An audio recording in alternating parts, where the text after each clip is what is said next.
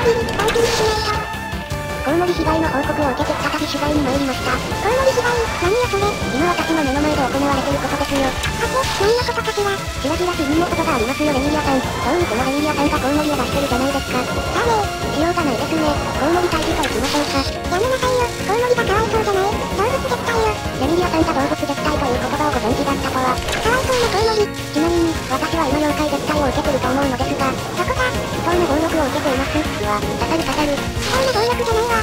私のコウモリをあなたが退治しようとしてるから、私もあなたを退治しようとしてるのよ。話は平行線をたどりそうですね。あ、食っても食いちぎってもいいわよ。コウモリたちになんて命令出してるんですか大丈夫。すべて終わった後は何も残らないようにしてあげるから。コウモリは骨も食べるのでしょうかま、私はコウモリの餌になる気はありませんが、しか、吸血鬼の夜とはこうも想像しいものなのか。おとなしく餌になってなさいよ。うん、それで少しはコウモリによる被害を抑えられるかしら。ああ、つまらないわね。コウモリの出しすぎはダメですよレミリアさん。私の勝手よ。最後の手品を見せてもらおうと。うんパーフェクトメイド。これが最後の手品ですね。えー、見たところ、前のナイフよりはもう多くないですね。そう言ったじゃないですか。それより拓也さん、何ですかここのご主人様、コウモリ出しすぎなのですが。あら、そんなに出てたってそれはもう大量に。みたいに言うのね。その大量のコウモリに攻撃されましたからね。うん、ああいうのは注意とかしないのですか私はここのメイドですよ。おっと、そうだったわ。それに、別にいいじゃありませんかコウモリくらい。もう少し隠れてやってくださりませんと。コウモリ被害の報告が私のところまで来るのですよ。あなたは記者でしょう。コウモリなんて無視でいいじゃありませんか。それが事件かもしれないじゃないですか。だから取材に行ったのです。コウモリの事件なんて大したことありませんよ。そうもいかないわ。何か大きな異変の現象かもしれないんだから。はあ、ご苦労なことで。話は変わりますが、拓也さん、私は今手品を見せてもらっているのでしょうか。どうしたのかしら。顔は笑ってるけど何も喋らないわ。タイミング、悪い、全部。うーん、謎の呪文を残して消えていったわ。これじゃあ最後の手品の記事が書けないわね。ひいき、エミリアストーカー。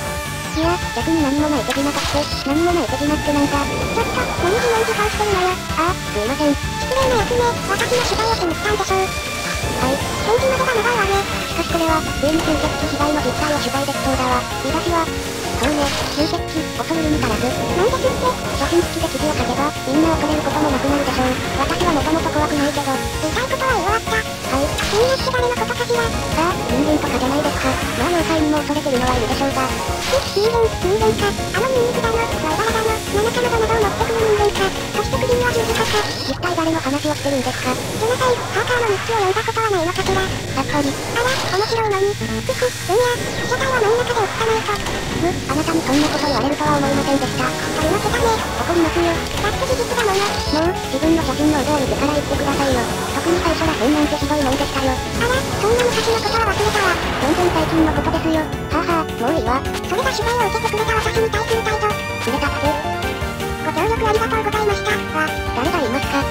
帰ります。さようなら。はあ、嫌な目にあったわ。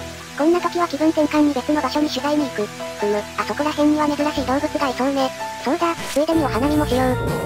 尻尾がたくさんあるキツネ発見。なんだお前。どうも、ガンさん。どうもじゃない？何しに来たお花見と、尻尾がたくさんあるというキツネを探していました。で、今見つけたところです。それ絶対私を探しに来てるじゃないか。その通りです。ガンさんに取材をと。取材って、最近も来たじゃないか。あの時は、タンスの川の川幅の探知に成功した話を聞かせてもらいましたね。そしてその後にきっとは何たるか教えてもらいました。話すことなど特にないぞ。いやいや、きっとあるはず。嫌な目だな。というか、早速聞きたいことが、どうしてそんなにくるくる回るのです答える必要はないな。ええすごく気になるのですが、回ることがそんなに気になるか。だってケンさんもよく回っていたので、あなたとその式が回るのは何か関係があるのかと、もしくは死というものには回る習性が。おいお前、チェーンをいじめてないだろうな。まさか、取材をしただけですよ。そうか、それならいい。ちょっと、まだ何も聞いてないのに。よし、次は心霊写真を撮るわよ。少し休みましょうよ。おっと、早速大きな霊が出てきましたね。どこどこ、あなたですよ。あ、私、相変わらずですね、ユニコさん。今日は私の遊び相手になってくれるためにここまで来たんでしょう。違います。リーダー、死でのリーダーと。問答無用というわけですか。ちょうど退出してたのよね死に疑われる天狗でも見ながら退出をしのぎは、そんな退出のしのぎ方やめてください。だって、暇なんだもの。あの中金すらもらえない庭師に面白いことでもしてもらえばいいじゃないですか。業務、業務はね今忙しそうだからダメなのよ。はあ、そうなのですか。そんな時にメーカーに迷い込んできた天狗、き、ちょうどいいと思わない全く思いませんね。悲しいわこっちが悲しくなってきますよ。そうく静かに消えたわね。しかし、取材どころじゃなかったわ。三つくる、お大師様の件また回ってるわくるくるくるくると、そんなに回ってたのかいのかしら。私は今忙しい。でしょうね、お花見の場所取りですか。そうだ？そんなにたくさんのござを敷き詰めて、もう、うるさいからあっち行ってろ。なんか面白いから写真に収めておくわ。邪魔すると巻き添え食うぞ。巻き添えにはなりません。大丈夫です。知らないからな。あと数枚パパッと取るわ。そういえば、ジェンさんが野良猫を手なずけようとしていましたが。はあ、あの子はまだ。あなたは野良狐を手なずけたりしないのですか？しないな、する必要もない。そもそも狐は無縁。そうなのですね。でも、しようと思えばそれは簡単だ。天才とは違うのですね。というか。天才は化け猫でしょう。どうして野良猫を手なずけられないのですか。そんなこと私に言われてもな。手なずけられないのなら、まだ剣に力が足りないということだろう。私もそう思います。では、写真撮り終わったのでまた後で。心霊写真パート2だわ。どうすあげたもんの事情また暇つぶし要員が来てくれたわ。今度は何を見せてくれるんですか？あなたを熱望に追いやるしもやるよ。それは怖い。ゆりこさんを取材してて思ったのですが。あら、なになに都合が過ぎませんかねそんなことないわよ。いつもすっかくて、気ままに生きてると思うのですが。私だってちゃんと色々なことを考えてるわ。そうは見えませんかね失礼しちゃうわ。ゆりこさんは今日の朝食べた内容も覚えてないという話を聞きましたが。誰んな話してたのよ。風に乗って聞こえてきました。で、本当なのですか覚えてるわよ。えっと、今日はね、なんか、えっと、どうやら噂は本当だったみたいです。今日の夜はからし天ぶ鍋。おっと、食べようとしないでください。焼いたり、炙ったり、茹でたり。いや、素焼きが一番しっくりきそうね。なんか恐ろしいことを言っているので、ここは一旦聞きましょう。それにしても、元気な心霊写真ね。どうす8000万のエゴマ。修行中でしたか。これも写真に収めておきましょう。邪魔するんじゃない。邪魔なんてしませんよ。写真を撮るだけです。それが邪魔なのだがな。まあこれも修行の一環として考えればいいか。そうですそうです。それともお前も修行をするか。とりあえず8000枚ゴマくらいで。8000枚ゴマというと、五穀を立って、わずかな蕎麦粉と菜食で暮らしながら、1日三座のゴマ量を99日間続けて、最後の100日目に、夜明け前から8000枚の霧によるゴマ量を、8時間同士で行う。そんな荒量はやりたくありません。というか、8000万ということはそれの1万倍、随分大変な修行をなさっているのですね。これくらいわけないさ。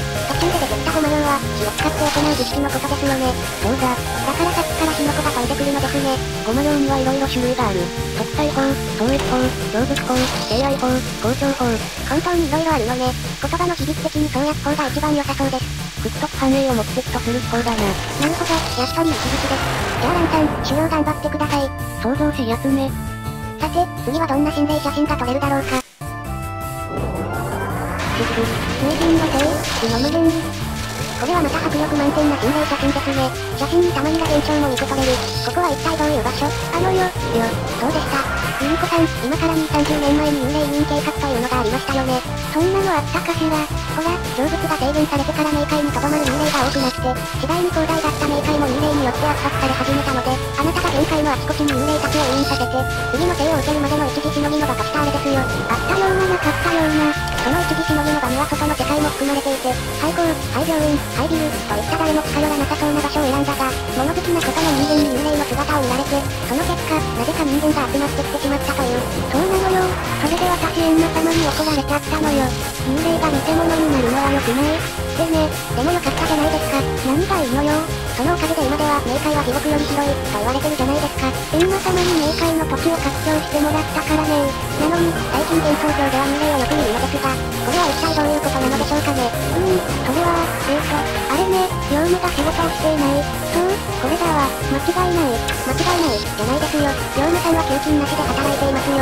そもそもユミコさんがエンマ様から、その幽霊の創生を取ることができる能力を買われて、幽霊管理を命じられたのでしょう。で、それと引き換えに冥界での永住が許可されたと。だから幽霊の仕事は全てミミコさんがやるべきなので。はないので。すか。そんなの無理に決まってるじゃない。というか、その命を受けた私から業務してるのよ。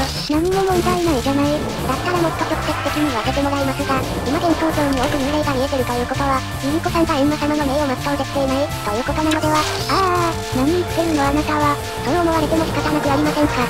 さて、今日の夜ご飯は、焼くか、煮るか、蒸すか、揚げるか、炙るか、茹でるか。とちょっと、やめてくだ。さい。言い過ぎましたごめんなさい。